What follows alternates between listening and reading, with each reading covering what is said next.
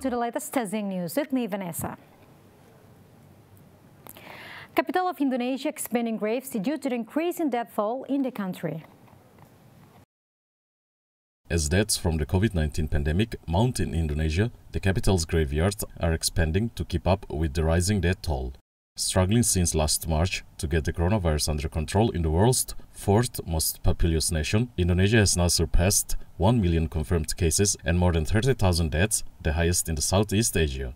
At Rorotan Cemetery in North Jakarta, bulldozers and trackers were busy clearing a 25 hectare land for additional graves.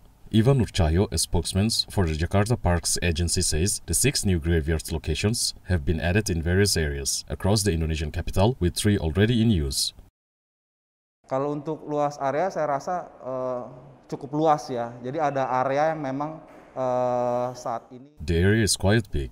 Part of the area is used as public cemetery. And we are also preparing a new large burial area for COVID-19 victims. We will use 1.2 hectares of it. In terms of total burial grounds, we still have enough space in Greater Jakarta. Tahap ini rencananya 1,3 hektar the rising death toll, he admitted, had been led the Jakarta administration to think resourcefully about the use of available plots by allowing victims to stack above their relative that had died more than five years ago. Myanmar junta blocks Facebook to shut down dissent as West increases pressure.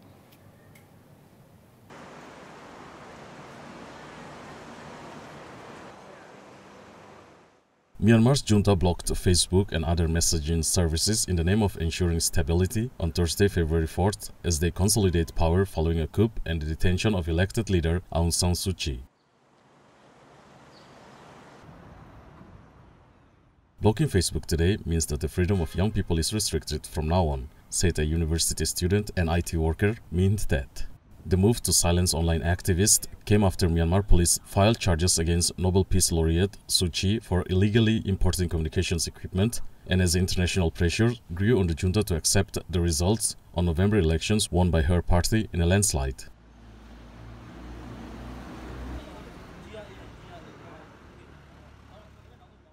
Inside Myanmar, opposition to the junta had emerged very strongly on Facebook, which is the main internet platform for much of the countries and underpins communications for business and government.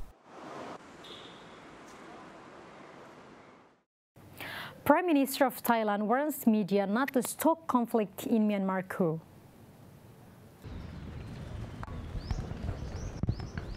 Thailand Prime Minister Prayut Chan-ocha warns the media not to stoke conflict with reporting on Myanmar's scope.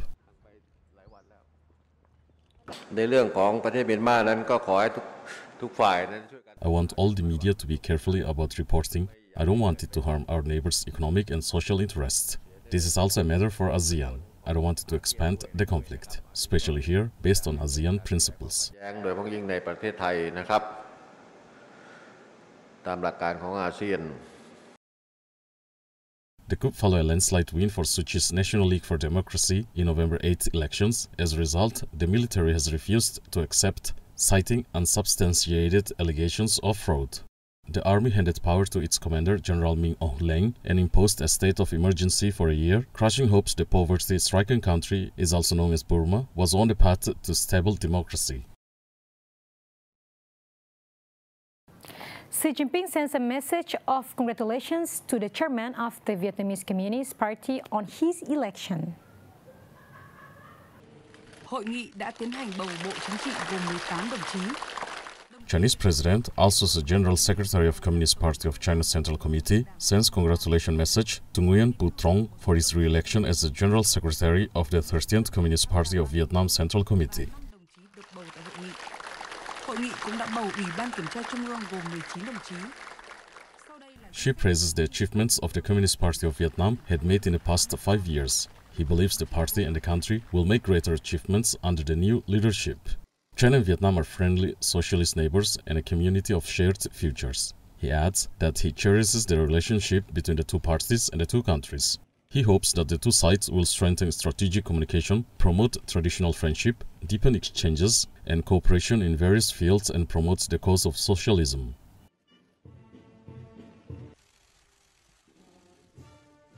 The two sides should jointly lead the sustained healthy, stable development of the China-Vietnam Comprehensive Strategic Cooperative Partnership, bring more benefits to the people of the two countries, and make positive contributions to the peaceful development and win-win cooperation in the region and the world.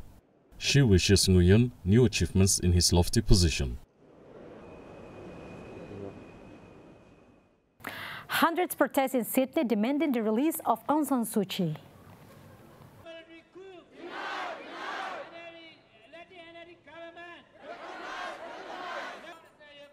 Hundreds of people from Sydney's Myanmar community, alongside supporters of the National League for Democracy, protest in Sydney against a military coup in the country and the sudden detention of Aung San Suu Kyi earlier this week.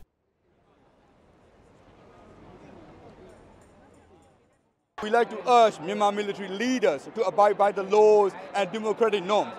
And we like to urge them to respect and respectfully accept this 2020 election result and also stop protecting military-owned interests. Holding placards and portraits of the Nobel laureate, protesters demand the immediate release of all political detainees and for the military to protect the people of Myanmar. According to the statement on a military-owned television state, Myanmar's army says it had carried out the detentions in response to the election fraud, handing power to the military chief, Min Aung Hlaing, and imposing a state of emergency for one year. Australian Prime Minister Scott Morrison says that the reports of Myanmar's military seizing power are disturbing developments.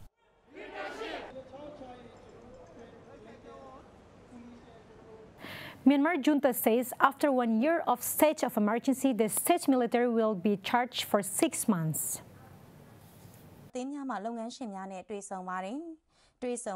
According to local people media reports, the leader of Myanmar junta says at a meeting with the Federation of Chambers of Commerce and Industry of the Union of Myanmar that the military will take over for another six months after a years of emergency state.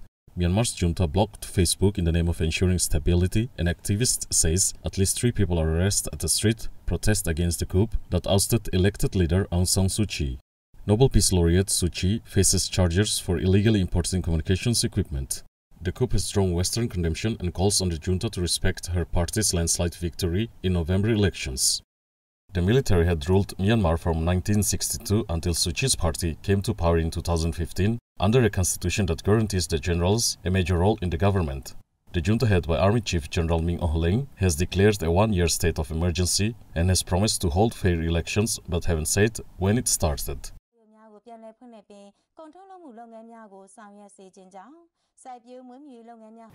Myanmar health workers singing in support toppled Myanmar leader Aung San Suu Kyi.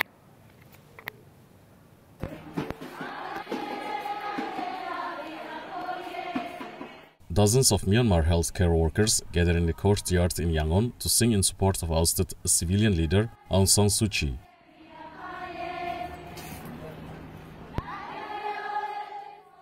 They sing a song called Kabar Ma Kyay Bu, which means no forgetting until the end of the world, a reference to not forgetting repression. The workers also show photograph of the Three Finger Salute, which stems from the popular Hunger Games movies based on Susan Collins' dystopian novels. In recent years, it has been adopted by protesters against the authoritarian rule in Asia.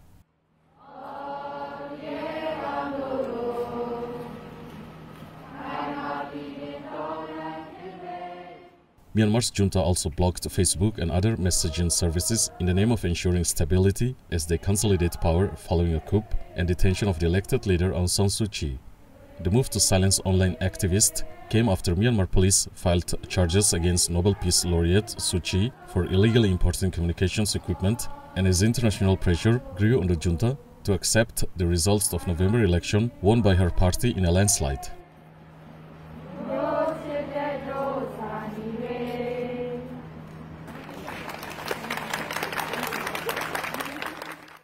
The promise of the president of Vietnam to do his best after being re-elected to defend the anti-corruption campaign.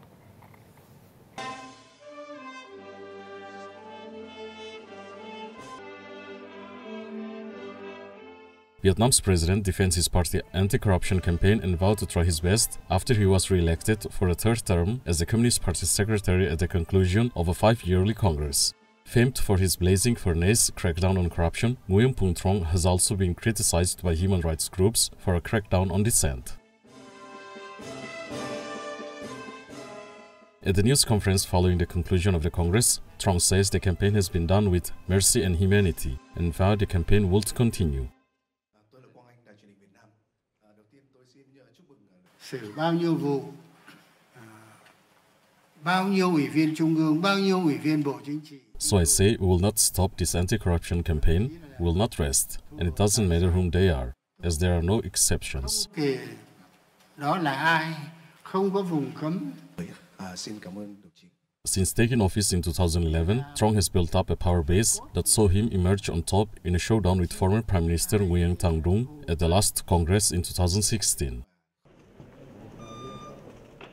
Armed with a raft of free trade deals envied regional peers and increasingly luring factories away from China, the ruling Communist Party formally approved ambitions to raise growth beyond an annual 6% in the pre-pandemic era to 6.5 till 7.0% for the 2021-2025 period.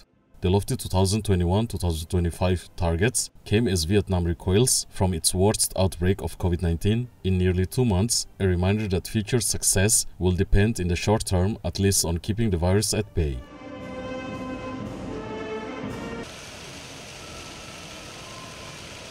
South Korean leader calls on military to release Aung San Suu Kyi.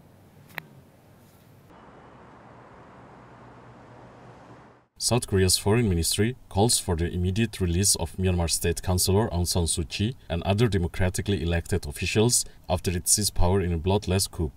Myanmar's military detained Nobel laureate Suu Kyi and other leaders from the country's National League for Democracy on Monday, February 1st, morning raids. The military then handed power to the military chief, General Min Aung Hlaing, and imposed a year state of emergency, saying it had responded to what it called election fraud. 우리 정부는 최근 미얀마 내 정치적 상황에 관해 Our government expresses deep concern over the recent political situation in Myanmar. Our government reaffirms that we respect the Myanmar people's aspirations toward democracy witnessed in the last general elections. 국민들의 열망을 존중한다는 점을 재확인한다. Western leaders have condemned the coup, and United States President Joe Biden has threatened to reimpose sanctions on Myanmar.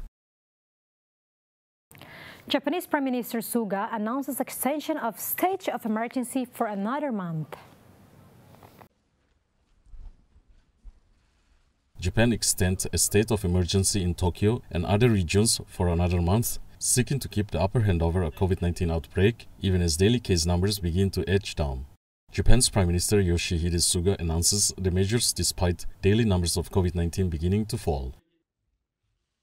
The governance chief says the emergency will be extended for 10 prefectures, including Osaka and Kyoto in western Japan, with the country facing its third and most lethal wave of the virus. このため緊急事態宣言の対象区域について栃木県 We will extend the state of emergency for 10 prefectures, including Saitama, Chiba, Tokyo, Kanagawa, Gifu, Aichi, Kyoto, Osaka, Hyogo, in Fukuoka until March 7th.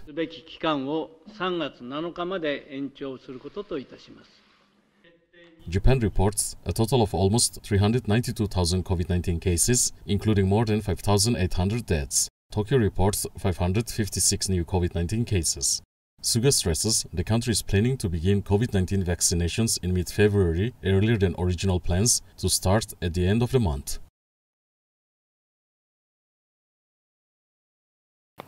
And thank you for today. Stay safe, stay healthy by washing your hands, use your mask, and continue to maintain social distancing rule. See you.